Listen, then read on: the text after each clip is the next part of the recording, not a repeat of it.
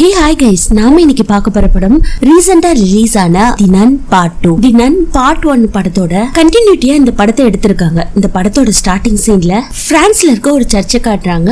அங்க அந்த சர்ச்சோட ஃபாதர் அன்னைக்கு நாளைக்கான மாச ரெடி பண்ணிட்டு இருக்காரு. அந்த சமயத்துல அவருக்கு ஹெல்ப் பண்றதுக்கு ஒரு குட்டி பையன் இருக்கான். அவனோட பேர் ஜாக் அவன் ஃபாதருக்கு தேவையான பணிவிடைகளை செய்யறது மட்டும் இல்லாம சர்ச்சிலையும் ஊழியம் பண்ணுவாங்க. அவனை பார்த்த ஃபாதர் வந்துட்டியாடா நேரா போய் ஒயின் பாட்டில் எடுத்துட்டு வா. மாசுக்கு டைம் ஆயிடுச்சு அப்படின்னு சொல்லி சொல்லிட்டு அவனும் ஒயின் பாட்டில் எடுத்துட்டு வர சொன்னோன்னே அவனும் ஒரு பெரிய ரவுண்ட் சைஸ் குடுவ மாதிரியான ஒயின் பாட்டில் எடுத்துட்டு வரான். அதுக்கப்புறம் மாசம் நல்லபடியா நடக்குது எல்லாருக்கும் புது நன்மையும் இது கிறிஸ்துவோட ரத்தம் அப்படின்னு சொல்லிட்டு அந்த ஒயினையும் கொடுக்குறாங்க. மாசம் நல்லபடியா முடிஞ்சிருச்சுங்க. திரும்ப அந்த ஒயின் பாட்டில கொண்டு போய் வச்சுட்டு வாடா அப்படின்னு அவனை சொல்ல அவனும் அந்த ஒயின் பாட்டில எடுத்துட்டு போறான். ஆனா அவன் அந்த ஒயின் பாட்டில எடுக்கிறதுக்கு ஒரு ஸ்டெப்ஸ் மாதிரி யூஸ் பண்ணுவான். அது நகர்ந்து இருக்கு அதை காலாலே உதச்சு தள்ளினவன் அந்த ஸ்டெப்ஸ் மாதிரியான ஸ்டூல் மேல ஏறி ஒயின் பாட்டில வச்சுட்டு திரும்பி பாக்குறான் சமயத்துல இவன் உதைக்கும் போது அந்த ஸ்டூல் மேல ஒரு பால் இருந்திருக்குங்க. அது உருண்டு ஒரு இருட்டறைக்கு போயிருக்கும். அந்த இருட்டறையில இருந்து ரிட்டர்ன் அந்த பால் திரும்ப இவன் இருக்க ரூமுக்கு வந்துருதுங்க. அதை பார்த்தவனுக்கு ஒரே ஷாக் என்னாச்சு? அங்க யார் இருக்கா? அப்படின்னு கூப்பிட்டு கூப்பிட்டு பாக்குறான் திரும்பவும் அந்த பால உதைப்பானா? அந்த சமயத்துல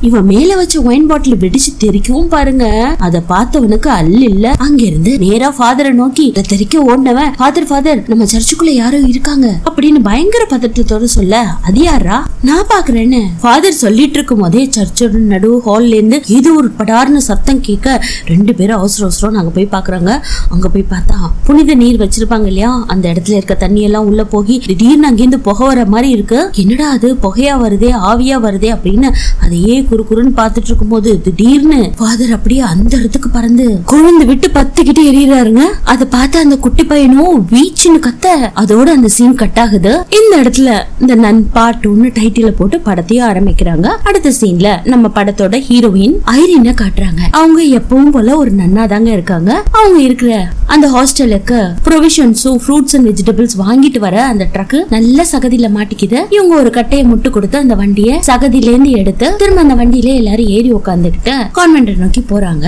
கான்வென்ட்ல அவங்க சுப்பீரியர் ஐரின வேக வேகமா கூப்பிட இப்பதான் ஒரு வேலை முடிஞ்சது இன்னொரு வேலையா? அப்படின்னு சொல்லிட்டு சிரிச்சுக்கிட்டே சலிச்சுக்காம சுப்பீரியரை பார்க்க போனா அவங்க என்னமா நினைச்சிட்டு இருக்கா அவங்க ஃப்ரெண்டு அப்படின்னு ஃப்ரெண்ட பத்தி செம்ம கம்ப்ளைண்ட் ஐரினோட ஃப்ரெண்டு பேரு டெபோராங்க. அவ கொஞ்சம் ரகடா இருப்பா. அவங்களும் இங்க நன்னா தாங்க இருக்காங்க. இருந்தாலும் அவங்க கொஞ்சம் ஸ்ட்ரெயிட் ஃபார்வர்ட் மாதிரிங்க. தனக்கு எது பிடிச்சிருக்கோ அதை தான் செய்யறவங்க பாவ மன்னிப்பு எதுவுமே கேட்க மாட்டேங்கிறா. அப்படி இப்படின்னு சுப்பீரியர் கம்ப்ளைண்ட் பண்ண நான் போய் எல்லாத்தையும் அவகிட்ட பேசினேன். நீங்க எதுக்கும் கவலைப்படாதீங்கன்னு அவங்கள ஆஸ்வாசப்படுத்திட்டு நேரா தன்னோட ஃப்ரெண்டு டபரா கிட்ட வந்து என்ன இப்படி பண்ணிட்டு இருக்கியா? அப்படின்னு சொல்லி கேட்க ஆமா எனக்கு இந்த நன்மை தீமை எதுலயுமே நம்பிக்கை இல்லாம போயிட்டு இருக்கு. அது மட்டும் மட்டும் இல்ல இங்கெல்லாம் சூப்பர் நேச்சுரலை பத்தி பேசிட்டு இருக்காங்க. யாரோ ஒரு சிஸ்டர் அதிசயத்தாலையும் அற்புதத்தாலையும் ஒரு சாத்தான அடக்குனாங்களாமா. அதுவும் ஒயினை வந்து கடவுளோட ரத்தமா நினைச்சு அந்த சாத்தான அடக்கியிருக்காங்க. அதெல்லாம் நான் நேர்ல பார்த்தாதான்ப்பா நம்புவேன். இதெல்லாம் நம்புற மாதிரியே இல்ல. அப்படி இப்படின்னு புலம்புனவ ஆமா உங்க அப்பா நேரா கொண்டுட்டு வந்தோம் நீங்க சேர்த்துட்டு போயிட்டாரு. அதுக்கப்புறம் உன்னோட ஃபேமிலி ஞாபகம் உனக்கு வரலையா? அப்படின்னு ஐரினை பார்த்து கேட்டோன்னே எனக்கு ஃபேமிலி ஞாபகம்லாம் வரல அப்படின்னு சொல்லிடுறாங்க. பட் ஐரினுக்கு அவங்க அம்மாவோட ஞாபகம் அடிக்கடி வருங்க. ட்ரீம்ஸாவும் வரும் அவங்க நினைச்சு பாக்குறதே நமக்கு விஷுவலாவே காட்டுவாங்க. பட் ஏன் இந்த இடத்துல பொய் சொன்னாங்கன்னு தெரியல? பட் இவங்க ரெண்டு பேரும் நல்ல திக் ஃப்ரெண்ட்ஸ் அடுத்த சீன்ல அன்னைக்கு லஞ்ச் டைம்ல எல்லா சிஸ்டரும் ஒன்னா உட்காந்து பேசிட்டு இருக்காங்க. சமயத்துல நம்ம ஐரின் ஃபர்ஸ்ட் பார்ட்ல ஒரு சாத்தான ஓட்டிருப்பாங்க இல்லையா? அத பத்தி தாங்க பேசிட்டு இருக்காங்க. இத கேட்ட ஐரின் நம்மள பத்தி தான் பேசிட்டு இருக்காங்க அப்படின்ட்டு கண்டும் காணாம அந்த இடத்த விட்டு போறாங்க. ஏன்னா இவங்க தான் அந்த அதிசயத்தை பண்ணாங்கன்னு யாருக்கும் தெரியாது. வாட்டிகன் சிட்டில அப்படி ஒரு ரூல்ஸ் இருக்குங்க. இன்னார் தான் இந்த பேயை ஓட்டுனாங்க அப்படின்னு வெளிப்படையாக யார்கிட்டயும் சொல்ல மாட்டாங்க.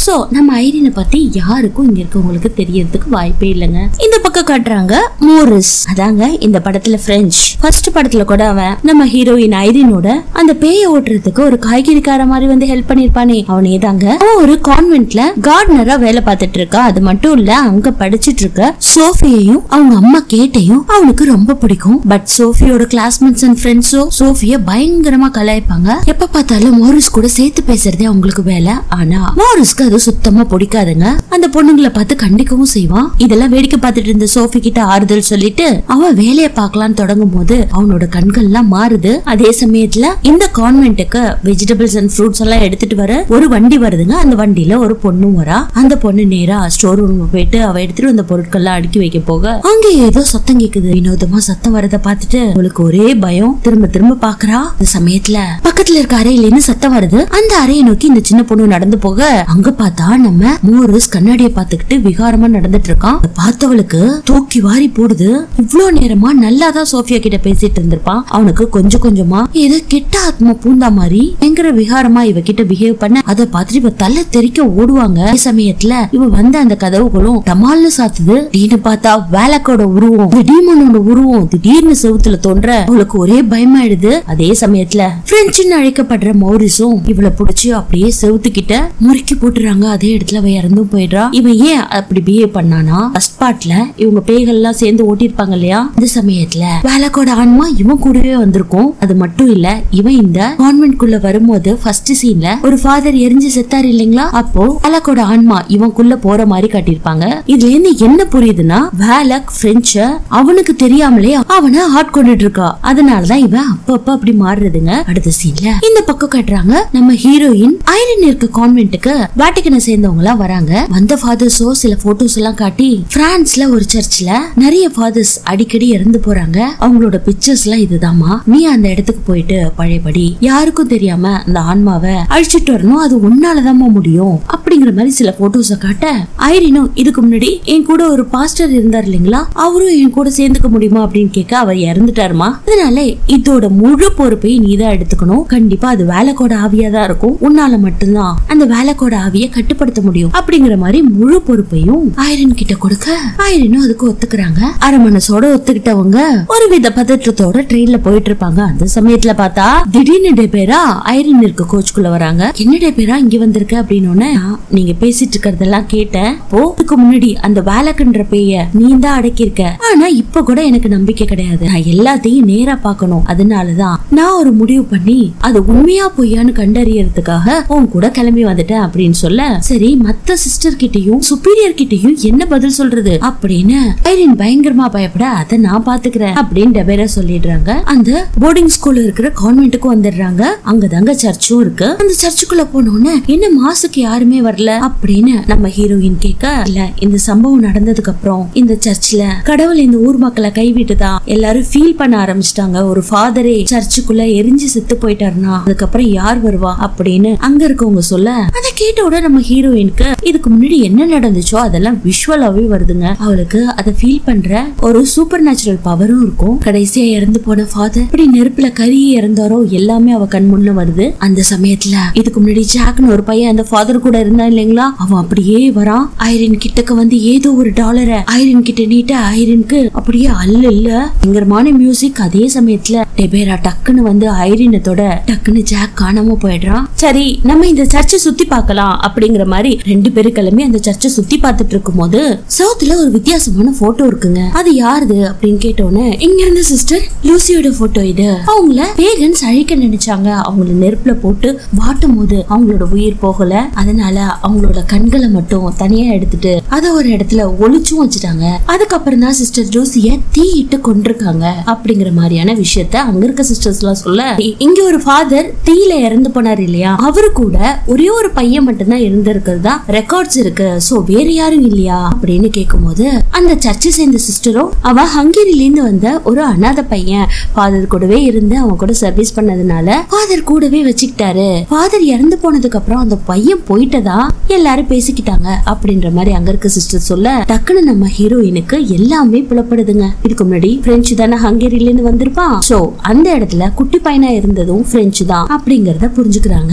அங்க கட் பண்ணி அடுத்த சீன்ல சோஃபியா அவ கூட படிச்சிட்டு இருக்க பொண்ணுங்களும் அந்த ஹாஸ்டல்ல இருக்க பசங்களும் இவள பயங்கரமா டீஸ் பண்ணிட்டு இருக்காங்க. ஏண்டி உனக்கு பாய் ஃப்ரெண்ட் இருக்கான் அந்த பாய் ஃப்ரெண்ட் கூட நான் கமெண்ட் அடிச்சு பேசினதுக்கு அவனை வச்சு எங்களை திட்ட வைக்கிறியா? இரு உனக்கு அதிசயத்தை காட்டுறேன் அப்படின்னு சொல்லி அவளை ஒரு அறைக்குள்ள கூட்டிட்டு போறாங்க அந்த அறைக்குள்ள போனதுக்கு அப்புறம் அங்க இருக்கு பாரு ஒரு ஆடு. அந்த ஆட்டையே நீ பாத்துட்டு இருந்தீங்கன்னா அந்த ஆட்டு கண்ணுல இருந்து ரெட் கலர்ல ஒளி மாதிரி மின்னும். அதை நீ பாத்துட்டீனா டீமன் இந்த இடத்துக்கு வரும். நாங்க எல்லாரும் உன் கூட தானே இருக்கும் அப்படின்னு அந்த பொண்ணை பயங்கர சூழ்ச்சியா அந்த இடத்துக்கு கூட்டிட்டு போனது மட்டும் இல்லாம அந்த ஜன்னல் கண்ணாடியில இருக்க ஆட்டையே பார்க்க சொல்றாங்க. அவளும் அதை உத்து பார்த்துட்டு இருக்கும்போது அவளை விட்டுட்டு தப தப தபன்னு வெளியில ஓடுவாங்களா?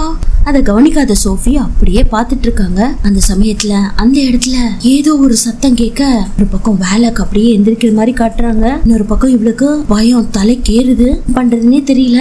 அறைய விட்டு வெளியில வரலான்னு கதவு கிட்ட வரா. கதவு நல்லா போட்டி இருக்கு. கதவை தட்டி தட்டி தொடங்க தொடங்கன்னு ஹெல்ப் கேக்குறா யாரும் வெளியில இருந்து திறக்கல. இவ கத்துன கத்து மௌரிஸ்க்கு நல்லா கேட்டுடுது. அந்த இடத்துக்கு வந்த மௌரிஸ் எல்லா பொண்ணுங்களையும் திட்டி அனுப்பிட்டு கதவை திறந்து சோஃபிய காப்பாத்துற நேரம். சோஃபிய காட்டுறாங்க. அந்த சமயத்துல கூட உருவம் அவள நெருங்கி வரும் பாருங்க. டக்குன்னு இந்த பக்கம் மௌரிஸ் கதவை திறக்க அந்த வேலைக்கும் அந்த இடத்த விட்டு போயிடுதுங்க. இல்ல வேலையா அவ தப்பிச்சான்ற மாதிரி நமக்கே இருக்கும். அடுத்து அந்த சமயத்துல சோஃபியோட அம்மாவும் அந்த இடத்துக்கு வந்து அவளை கூட்டிட்டு போயிடுறாங்க உங்களுக்கு ஏதாவது பிரச்சனைனா என்கிட்ட சொல்லுங்கன்னு பிரெஞ்சு சொல்ல அதையும் கேட்டுட்டு அந்த பொண்ணோட அம்மா அவளை கூட்டிட்டு போயிடுறாங்க. இந்த பக்கம் நம்ம ஹீரோயினை காட்டுறாங்க. அவங்க கிரவுண்டுக்கு வந்திருக்காங்க அந்த இடத்துல நிறைய பசங்க ஃபுட்பால் விளையாண்டுட்டு இருக்காங்க. அந்த சமயத்துல இவங்க முன்னாடி ஒரு பையன் டாலரை குடுக்கற மாதிரி ஃபர்ஸ்ட் சீன்ல பாத்துருப்போம் இல்லைங்களா? இவங்க இந்த சர்ச்சுக்கு வந்த சீன்ல அவனோட உருவம். அவங்க மனசுல அப்படியே இருக்கு. அந்த பையன் அங்க விளையாண்டுட்டு இருக்கிறத பார்த்து அவனை கூப்பிடுறாங்க. அது மட்டும் இல்ல இந்த சர்ச்ல என்ன நடந்துச்சு? நீ தான் ஃபாதருக்கு உதவியா இருந்தியாமே? அப்படிங்கிற மாதிரி கேள்வி கேட்க அவன் எதுவுமே சொல்லாம ரொம்ப பயத்துல இருக்கான்.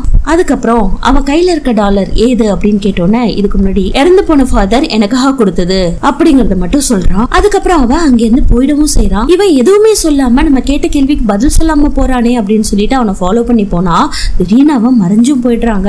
அடுத்த சீன்ல என்ன பண்றதுன்னு தெரியாம இவங்க சர்ச்சுக்குள்ள வருவாங்க. வந்து பார்த்தா அங்க நிறைய மேகசின்ஸ் ஒரு செவுத்துல இருக்க கபோர்ட்ஸ்ல அடுக்கி வைக்கப்பட்டிருக்கும். அந்த கபோர்ட்ஸ்ல இருக்க மொத்த மேகசின்ஸும் திடீர்னு காத்துல ஒண்ணு வேணா அப்படியே பெறலும் பாருங்க. உங்களுக்கு ஒண்ணுமே பண்ண முடியாது. என்ன நடக்குதுங்க அப்படிங்கிற மாதிரி அந்த மேகசினே பார்த்துட்டு இருப்பாங்க அந்த சமயத்துல மொத்த மேகசினும் வேக வேகமா பேஜ் எல்லாம் திருப்போம். கடைசியா பார்த்தா வேலைக்கோட உருவம். அப்படியே உண்மை ரூபத்துல இருக்கிற மாதிரி நம்ம ஹீரோயின் கிட்ட வர ஹீரோயின் அதை நல்லா புரிஞ்சுக்கிறாங்க. இங்க நடக்கிற அசம்பாவிதத்துக்கும் தொடர்ச்சியான மரணங்களுக்கும் காரணம் வேலக் தான் வேலக் தான் இந்த இடத்துல இருக்கா? அப்படிங்கறத நல்லா கன்ஃபார்மே பண்ணிடுறாங்க. ஏன்னா இவங்களுக்கு ஆல்ரெடி வேலைக்கு தெரியும் இல்லைங்களா? மட்டும் இல்ல ஒரு சிஸ்டரை நெருப்பு வச்சு எரிக்கிற மாதிரி அவங்களுக்கு ஒரு இமேஜினேஷனும் ஓடிக்கிட்டே இருக்குங்க. அந்த சமயத்துல அங்க இருக்கிற ஆள் அந்த சிஸ்டரை எரிக்கிறாங்க இல்லையா? கூட சுத்தி நிக்கிறவங்க ஒருத்தவங்க அந்த சிஸ்டரோட கண்ணை தோண்டி எடுக்கிற மாதிரி ஒரு காட்சியும் பாக்குறாங்க. அதுல இவங்க அதிர்ந்து போயிடுறாங்க. அதுல இவங்களுக்கு மயக்கமும் வந்து அப்படியே ரோட்லயே மயக்கம் போட்டு விழுந்துடுறாங்க. அதே சமயத்துல இந்த பக்கம் காட்டுறாங்க. இந்த கான்வென்ட்டோட சுப்பீரியர் இருக்காங்க இல்லையா லோரன்? அந்த வயசான அம்மா. டெக்கரேஷன் எல்லாம் முடிஞ்சதுக்கு அப்புறம் எல்லாரும் ஒழுங்கா தூங்கிட்டாங்களா இல்லையான்னு ஒரு ரவுண்ட்ஸ் மாதிரி வந்துட்டு இருக்காங்க அந்த சமயத்துல நம்ம ஃப்ரெண்ட்ஸ் ரொம்ப வித்தியாசமா நடந்துட்டு இருக்கான் ஃப்ரெண்ட்ஸ் செவுத்து கிட்ட என்ன பண்ணிட்டு இருக்க அப்படின்னு அவனை கூப்பிட்டு மேடம் லோரான் கேட்க அவன்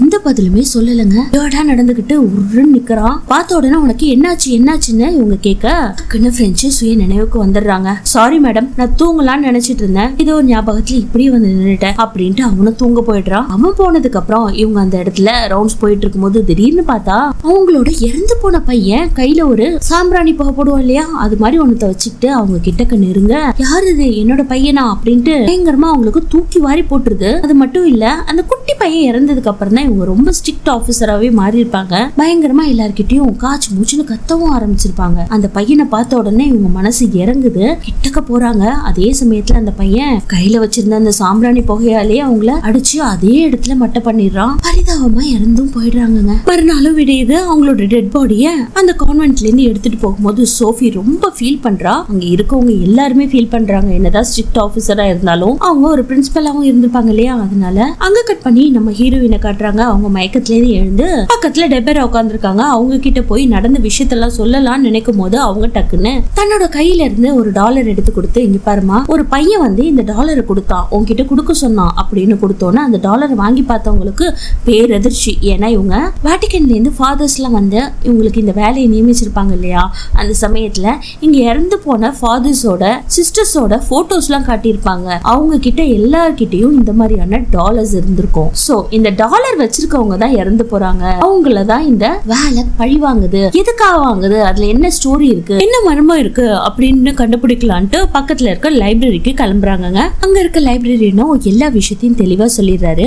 இங்க பாருமா இந்த டாலரை வச்சிருக்கவங்க எல்லாருமே லூசியோட வகையராவை சேர்ந்தவங்க. அதாவது சிஸ்டர் லூசின்னு ஒருத்தவங்கள எரிச்சு கொன்னதா? பேகன்ஸ் எரிச்சு கொன்னதா நம்ம கேள்விப்பட்டிருந்தோம் இல்லையா? அவங்களோட ரிலேஷன்ஸ் இவங்க எல்லாரும். அவங்க எல்லாருமே உயிருக்கு பயந்து தப்பு தப்பிச்சு இந்த இடத்த விட்டு வேற வேற நாடுகளுக்கு போய் கடவுளுக்காக ஊழியர் செஞ்சுட்டு இருக்காங்க அவங்கள தேடி புடிச்சு கொல்றதே வேலைக்கோட மெயின் அஜெண்டாவா இருந்திருக்கு. ஏன்னா வேலைக்கு ஏதோ ஒரு விஷயம் தேவைப்படுது அப்படின்னு நம்ம ஹீரோயின் டவுட் பட அங்க இருந்த லைப்ரரியன் ஆமாமா வேலைக்குன்ற பேய் ஒரு சமயத்துல தேவதையா இருந்தவ அவ செஞ்ச பாவங்களுக்காகவும் தீமைக்காகவும் கடவுள் அவள ஏஞ்சலாவும் தேவதையாகவும் இருக்க கூடாதுன்னு சொல்லி சபிச்சு அவளோட பவர் எல்லாம் பொடுங்கிடுறாரு. அந்த பவரை திரும்ப பெறுறதுக்காக தான் அவ இப்போ இப்ப அலைஞ்சிட்டு இருக்கான்ற மாதிரி லைப்ரரியன் சொல்ல நம்ம ஹீரோயினுக்கு தெளிவா புரிஞ்சிருது. அப்போ இவ லூசியோட சிஸ்டர் லூசியோட பரம்பரை எல்லாரையும் கொல்றானா?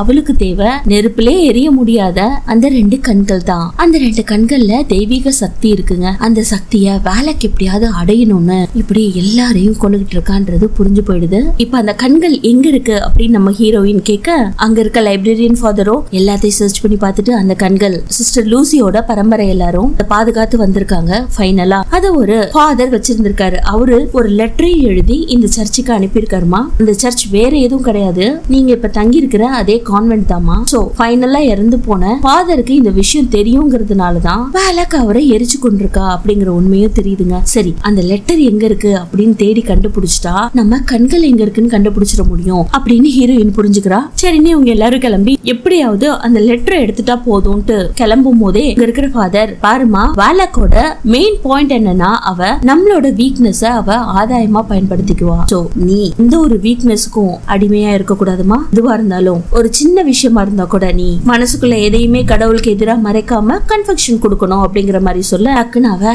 இது வரைக்கும் நம்ம மறைச்ச விஷயம் ஒன்னே ஒண்ணுதான். ஒரு தடவை டெபேரா அம்மாவோட ஞாபகம் எல்லாம் உனக்கு இருக்கா? அப்படின்னு கேட்கும்போது எனக்கு உங்க அம்மாவோட ஞாபகம் எல்லாம் இல்லைன்னு சொல்லியிருப்பாங்க. அது டெபேரா கிட்ட ஒரு கன்ஃபெக்ஷனா இங்க பாரு எனக்கு எங்க அம்மாவோட ஞாபகம் அடிக்கடி வரும். அவங்கள எனக்கு ரொம்ப பிடிக்கும். என் கூட அவங்க நல்லா விளையாடுவாங்க. அவங்க அடிக்கடி கடவுளை பார்த்து தான் என்கிட்ட சொல்லியிருக்காங்க. நான் என்னாச்சுன்னே தெரியல. எங்க அப்பா அவங்கள பைத்தியம் பிடிச்சிருச்சு அப்படின்னு சொல்லிட்டு பைத்திய ஹாஸ்பிட்டல்ல சேர்த்துட்டாரு. அதுக்கப்புறமா எங்க அம்மாவை நான் பார்க்கவே இல்ல அப்படிங்கிற மாதிரி சொல்ல அதே சமயத்துல இந்த பக்கம் காட்டுறாங்கங்க பிரெஞ்சு சோஃபி ரெண்டு பேரும் ஏதோ ஒரு மியூசிக்கு அழகா டான்ஸ் ஆடிட்டு இருக்காங்க. அது மட்டும் இல்ல அவங்க அம்மாவும் கூடவே இருக்காங்க. இது வரைக்கும் பிரெஞ்சு கேட்ட எந்த ஒரு கேள்விக்கும் அவ்வளவா பதில் சொல்லாதவங்க சோஃபியா கேட்டுக்கிட்டதுக்காக பிரெஞ்சு கூட லைட்டா டான்ஸும் பண்ண பார்ப்பாங்க. அதே சமயத்துல அவங்களுக்கு அன்பும் மலர ஆரம்பிக்குது. இவங்க ஒரு நல்ல ஃபேமிலியா மாறலாம் அப்படிங்கிற மாதிரி ஒரு தாட்டும் வர ஆரம்பிக்குது. ஆனா அந்த சமயம் பார்த்து பிரெஞ்சுக்கு வேலை கட்டளையிட்டது மாதிரி திடீர்னு பிரெஞ்சு மாறுவானா? அதை பார்த்த உங்க ரெண்டு பேருக்கும் ஒன்றுமே புரியல. நில குழஞ்சி போயிடுறாங்க. அந்த சமயத்தில் ஃப்ரெஞ்சோட கழுத்தில் பாக்குறாங்க. தலைகீழ சிலுவை போட்ட சிம்பிளும் இருக்குது. இவனை ஏதோ ஒரு சாத்தான் ஆட்டி படைக்குது. உடம்புல கெட்ட சாத்தான் பூந்துருக்கு அப்படிங்கிற மாதிரி நினச்சிக்கிட்டு அந்த இடத்த விட்டு ஓடலாம்னு நினைப்பாங்க. ஆனா அதுக்குள்ள ஃப்ரெஞ்ச் அவங்க ரெண்டு பேரையும் துரத்திக்கிட்டு போய் கொல்லவும் போவாங்க. அவங்க ரெண்டு பேரும் தலை தெறிக்க ஓடுவாங்க. அதே சமயத்தில் ஐரின் கூட வந்தவங்க எல்லாரும் இந்த கான்வென்ட்குள்ள நுழைய அவங்க ரெண்டு பேரும் காப்பாற்றப்படுறாங்கங்க அதே சமயத்தில் ஃப்ரெஞ்சை பார்த்து வேலைக்கும் உடம்புக்குள்ள இருக்கா? வெளியில போ வேலைக்குன்ற மாதிரி கட்டளை இடுறாங்க டக்குன்னு பிரெஞ்சுக்கு சுயநினைவு திரும்புது. அவ ஃபீல் பண்றான் எனக்கு என்ன நடந்துச்சுன்னே புரியலையே அப்படிங்கிற மாதிரி கதறி துடிக்கிறான். திடீர்னு அவனுக்கு வேலைக்கோட ஆவி வருமா? திரும்பவும் அவன் அந்நியன் மாதிரி மாற நம்ம ஹீரோயினுக்கு தூக்கி வாரி போட்டுருது அந்த நேரத்துல டெபேரா.